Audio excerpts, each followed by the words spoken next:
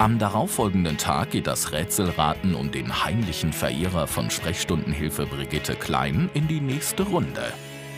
Guck mal, wir haben schon wieder ein Päckchen gekriegt. Vorige Woche hatten wir schon wieder eins. Du, ich weiß es nicht. Das ist ja toll. Ja. Meine Güte, alles Liebe. alles Liebe, Alles Liebe. Und eine Karte ist dabei. Ach, guck mal, ist das nicht süß? Oh, alles Liebe. Oh, ist das süß. Ja. Ach, danke. Toll, da freuen wir uns aber, ne? Was ist das denn? Ach, guck mal, wie süß. Hallo, Ruben. Hast du die mir hierher gelegt? Dass der Ruben mir solche kleinen Geschenke macht, ich finde das so super. So ein kleiner Kerl bringt Geschenke und Blumen. Ganz toll, also ich habe mich so gefreut. Ich bring dich jetzt ins Wartezimmer wieder, ne? Wer hätte das gedacht? Ruben, der regelmäßig seine Oma zu ihren Arztbesuchen begleitet, ist mit gerade mal sechs Jahren schon ein echter Charmeur und verzaubert Sprechstundenhilfe Brigitte Klein komplett. Die nächste Patientin wird Dr. Bernhard Skupin vor ein medizinisches Rätsel stellen. Mareike Schroth, die von ihrem Mann Frank begleitet wird, kann aber selbst gar nicht sagen, was ihr fehlt. Womit kann ich helfen?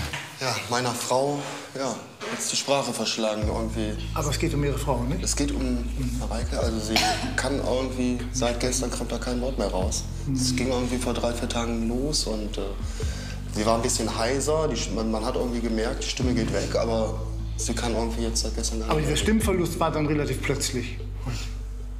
Gibt es irgendwelche Krankheiten, die Sie in letzter Zeit durchgemacht haben? Nee. Haben sich nicht fiebrig gefühlt? Keine Erkältungsgeschichten? Ist auch, man muss, muss das fragen, in letzter Zeit keine Operation erfolgt mit einer Intubation, dass irgendwas an dem Kehlkopf rumgefummelt wurde? Nein. Gut. Ist manchmal eine bisschen schwierige Situation, das müssen wir versuchen zu klären. Erstmal muss ich ein wenig untersuchen, ob was Organisches dahinter steckt. Ja? Sie nehmen einmal bitte auf der Liege Platz. Eine Patientin mit diesen Beschwerden, dieser Aphonie, dieser völligen Verlust der Stimme, das ist schon sehr ungewöhnlich. Das kommt hier bei uns sicherlich nicht sehr häufig vor. Der Arzt kann bei seiner Patientin keine erhöhte Temperatur feststellen. Auch Mareikes Rachen ist weder gerötet noch geschwollen. Die Frage ist, kann oder will die Patientin nicht sprechen? Und räuspern Sie sich einmal. Gut, das war zwar ein bisschen mehr Husten, aber das wollte ich auch haben. Passt. Einmal so ein bisschen trocken husten. Nochmal. Die medizinische Untersuchung bleibt zunächst ohne Befund. Dr. Skupin hat trotzdem einen Verdacht. Bei diesem Krankheitsbild muss man unterscheiden zwischen einer organischen Ursache, also dass da körperliche Dinge dabei eine Rolle spielen, und als zweites kommt und gar nicht so selten psychische Ursachen in Frage.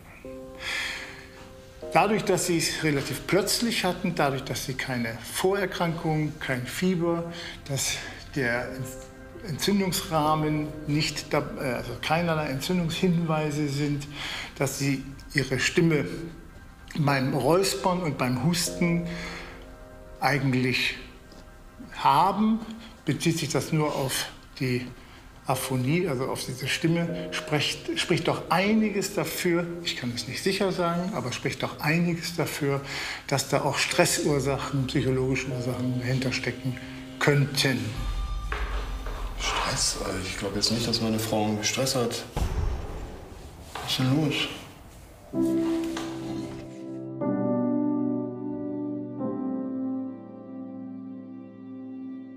Wir haben ja hier in der Praxis die Möglichkeit, sehr schnell Kontakt mit einer Psychotherapeutin, mit der Frau Sabine Decker aufzunehmen. Ihr Einverständnis vorausgesetzt, werde ich das Krankheitsbild mit ihr besprechen und wir versuchen schnellstmöglich von der Seite Ihnen auch zu helfen. Okay? Sie warten bitte noch einen Moment im Wartezimmer, dass wir das Ganze erledigen können. Okay? Kannst du jetzt mal bitte die Kopfhörer abnehmen? Was soll ich hier? Wir sitzen hier beim Arzt. Hallo, das gehört sich einfach nicht. Ist doch egal, ich bin auch kein kleines Kind mehr. Jetzt wir- lass mich doch in Ruhe. Hallo, ich mache mir so, guck mal, wie du aussiehst. Dir steht der Schweiß hier auf der Stirn, das ist doch nicht normal. Ich mache mir halt so, Finn, wir bleiben jetzt mal unten, pack das Handy doch mal in die Tasche. Und den Rucksack kannst du auch mal abnehmen, wenn der Arzt jetzt gleich reinkommt. Der will dich ja untersuchen. Sei nicht so angenervt. Aber der 15-jährige Finn bleibt störrisch. Dabei scheinen die Sorgen seiner Mutter durchaus berechtigt. Wie ernst es tatsächlich um den Teenager steht, ahnt auch Kinderarzt Dr. Günther Arnoldi zu diesem Zeitpunkt noch nicht. Der Finn ist da. Ich sehe es an seiner Begeisterung. Genau. Er ist gar nicht begeistert, quasi. Erstmal guten Tag. Hallo. Ne? Peter. Hallo, mein Lieber. Willst du sagen, was los ist? Nix. Finn, so wie du aussiehst, denke ich, äh, muss man doch mal ein bisschen gucken. So ganz äh, fit bist du definitiv nicht. Ähm, mit deinen Schweißperlen auf der Stirn und deiner doch deutlich sichtbaren Blässe. Ähm, ich bin sicher, dass du doch nicht unerheblich Fieber hast. Und damit wir wissen, wovon wir reden, denke ich, messen wir das einfach mal. Das Fiebermessen zeigte ja schnell eine deutlich erhöhte Körpertemperatur an, die knapp unter 40 lag, was äh, sehr schon verdächtig ist auf eine gravierende Infektion. Wir müssten dann bei dir einmal jetzt den Blutdruck messen und da würde ich bitten, dass du deinen linken Oberarm frei machst. Geht es nicht hier einfach? Ach, Finn, komm, jetzt, Ja, warum denn? jetzt bock doch Jetzt nicht rum. doch mal nicht die ganze Zeit zu tun. Ja, Wir der Arzt machen das ja immer auf der linken Seite, weil auf der linken Seite dein Herz Zieh doch die sitzt. Jacke aus. Und äh, dann zieh doch mal die Jacke aus. Geht das nicht so einfach? Ja, du kannst ja erstmal da oben rum frei machen. Ich muss ja hier bis zur Ellbeuge, wenn das okay ist für dich. Bist du denn So. so und bockig, ehrlich? Überrascht war ich dann schon äh, bei dem Versuch, den Blutdruck zu messen, am linken Arm doch so ein Widerstand aufbaute. Ja, und richtig erschreckt war dann, als ich sah, was sich da plötzlich vor, mir, vor meinen Augen zeigte. Dr. Skopin übergibt indes seine Patientin in die Hände von Psychotherapeutin Sabine Decker. Der Allgemeinmediziner befürchtet, dass ein traumatisches Erlebnis Auslöser für Mareike Schrotz verstummen ist. Die Wahrheit wird auch für den Ehemann ein Schock sein. Nehmen Sie Platz. Ja. Ja. Meine Frau Mareike kann nicht mehr sprechen. Ach Mensch, das ist ja blöd. Einfach Stimme weggeblieben. Oh Mann, das ist ja fürchterlich. Und haben Sie eine Idee, was, Ich kann was das überhaupt nicht los erklären. ist? Also, wir- wir sind jetzt heute zum Arzt gegangen. Sie Mhm. kann seit gestern nicht mehr sprechen. Ich meine, es ging die letzten paar Tage irgendwie ein bisschen mit einer rauen Stimme los. Und Mhm, er hat sie durchgesteckt. Also ich habe wirklich gedacht, sie hat was im Hals. Oder Jetzt sagt er irgendwie, körperlich sieht das nicht so aus. Und Na, Gott sei Dank, ne? ist wenigstens körperlich alles in Ordnung. Das ist ja schon mal ganz gut. Ja. Ist, ähm, und sonst bei Ihnen privat ist irgendwie eine bestimmte Belastung im Augen? Also wir haben gerade gesagt, äh, Stress, wir haben auch schon ein bisschen, also habe ich mir gerade Gedanken gemacht. Ich meine, sie geht arbeiten, sie arbeitet in der Kita mit kleinen Kindern. Klar ist In das der mal, Kita mit klar ist kleinen das- ich meine, Kindern? klar ist das stressig, aber sie, ich meine, sie- soll rausgehen? Sie sollen rausgehen? Sicher? Ja. Vielleicht. Ich bin direkt da hinter der Tür, wenn was ist, ne? Okay. Im ersten Moment ist natürlich erstmal da eine Welt für mich zusammengebrochen, als ich gesehen habe, wie die Tränen da auf meiner Frau rausflossen. Ich habe das nicht verstanden, was da los ist. Dann wurde ich noch rausgeschickt. Ja, da ist man natürlich erstmal ahnungslos. Frau Schroth, was ist los? Sie wissen, warum das ist. Sie haben ein Geheimnis. Sie wissen, warum Ihnen die Worte fehlen, die Stimme. Was hat Ihnen die Sprache verschlagen? Was ist das? Ach, was ist denn das da, Finn? Lass mich gerade mal gucken. Was ist denn das für ein, ein roter Strich da? Keine Ahnung. Hast du das noch nicht gemerkt? Jetzt ziehst du mal bitte deine Jacke aus. Zieh das mal aus, am besten die Uhr gleich mit. Hier. Ja. Jetzt dreh den Arm bitte Ach du vernünftig. grüne Neune. Oh. Was ist denn da passiert, Finn? Was, was hast du gemacht, sag mal? Ist doch nicht so. Gottes Willen. Ach du Schande. Ja, da haben wir ja die Erklärung. Das ist ja eine richtig satte Entzündung. Wie lange hast du denn dieses Tattoo schon da drauf? Was ist das? Was, Sag mal, hast du dich selber tätowiert oder warst du bei irgendeinem Stümper, der dich tätowiert hat? Hä? Na, also gut, Wie man, egal wie. Das hier ist auf alle Fälle eine beginnende äh, ja, Blutvergiftung, wie man sagt, die jetzt so weit wie sie schon fortgeschritten ist, durchaus äh, relativ. So. Das kann lebensbedrohlich sein. Ja, klar ist das Und äh, das erfordert auf alle Fälle eine ganz zügige Behandlung. Ansonsten bist du rapzapp in der Klinik am Tropf und äh, wirst ein paar Tage verweilen müssen. Du behandelst mich immer wie ein kleines Kind. Dann haben wir uns halt im Internet so eine Tattoo-Maschine bestellt und habt was? Ja. Wie, und ihm hämmert dir Ja, dann guck mal, wie du mich immer behandelst. Was Als wäre das ich fünf. Ich gehe hier schon zum Kinderarzt. Hallo, ich bin 15. Also okay, aber hier gibt es eigentlich keine große Diskussion, was wir hier machen müssen. Die Beginn der Blutvergiftung konnte mit einem Breitbandantibiotikum gestoppt werden. Auch das entzündete Tattoo des Zehntklässlers ist nach wenigen Wochen problemlos verheilt. Außerdem hat Finn eingesehen, dass seine Mutter für ihn nur das Beste will.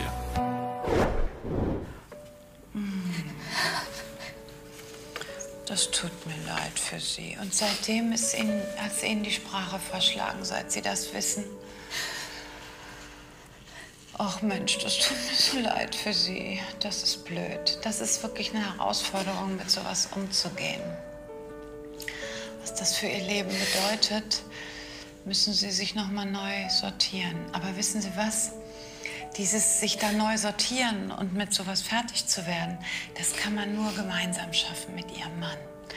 Und deswegen wäre ich wirklich dafür, dass wir Ihren Mann wieder dazu holen und mit ihm darüber sprechen. Mareike sieht ein, dass es richtig ist, Frank endlich in ihr Geheimnis einzuweihen. Trotzdem hat die 39-Jährige große Angst vor der Reaktion ihres Mannes. Ja, Ihre Frau hat mir gerade ein Geheimnis verraten, von dem ich annehme, dass es der Grund ist für Ihren Stimmverlust. Ich nehme an, Sie haben einen ausgeprägten Kinderwunsch. Sie beide natürlich. wollen eine Familie gründen. Ihre Frau hat leider den Befund erhalten von der Gynäkologie, dass sie keine Kinder bekommen wird. Auf natürlichem Wege ist es nicht möglich und wahrscheinlich Schatz, es tut mir so leid für dich. Ähm, Aber das ist nicht schlimm. Hey. Aber, Wahrscheinlich bedeuten, dass Sie sich etwas umorientieren müssen in Ihrer Lebensplanung. ich weiß jetzt gerade gar nicht, was ich sagen soll, aber zwischen uns ändert das doch gar nichts. Als ich wieder dazugerufen wurde und die Therapeutin uns dann oder mir dann den Befund mitgeteilt hat, da war ich natürlich erstmal geschockt und äh, wusste nicht ganz, äh, wohin mit meinen Gefühlen. Es ist natürlich eine ganz traurige Sache, dass wir keine leiblichen Kinder kriegen können. Ja, aber irgendwie gemeinsam schaffen wir das. Wir haben alles immer gemeinsam geschafft und äh, das schaffen wir schon. Für manche Paare ist es hilfreich, den wirklich dann so einen markanten Punkt zu setzen, zu sagen, so, heute beenden wir unseren Kinderwunsch, vielleicht mit einem kleinen Abschiedsritual, mit irgendetwas, was einem dann so einen Wendepunkt markiert und sagt, so, ab heute gucken wir anders in die Zukunft und hören auf zu versuchen, weil das Paare natürlich unter einen unglaublichen Stress setzt, diese Versuche und diese diese Sehnsucht danach, da ist es manchmal wichtig, da gemeinsam einfach einen Schritt zu machen, zu sagen, so, jetzt fangen wir wieder neu an. Ich kann mir vorstellen, dass es schon jetzt für Sie beide auch echt eine Herausforderung mit dem Thema sich auseinandersetzen zu müssen, dass man da sein Leben ein bisschen umplant.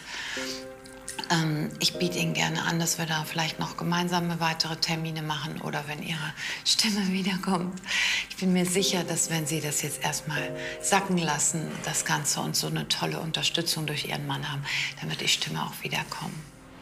Dank ihres Mannes und mit Hilfe der Psychotherapeutin hat Mareike ihre Sprache wiedergefunden. Außerdem hat das Paar beschlossen, einem Pflegekind ein liebevolles Zuhause zu geben.